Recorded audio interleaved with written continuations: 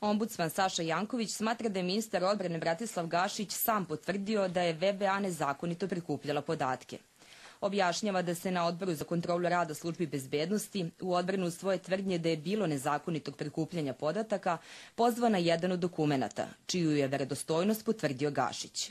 Za list danas pojašnjava da reč o detaljnom izveštaju VBA o pripremama za miting Srpske radikalne stranke i razgovorima radikala i dveri o tome da li će prisustovati mitingu. Gašić je, kako kaže ombudsman, potvrdio da izveštaj potiče iz VBA, a da je osoba koja ga je sačinila penzionisana, ali ne zbog tog izveštaja.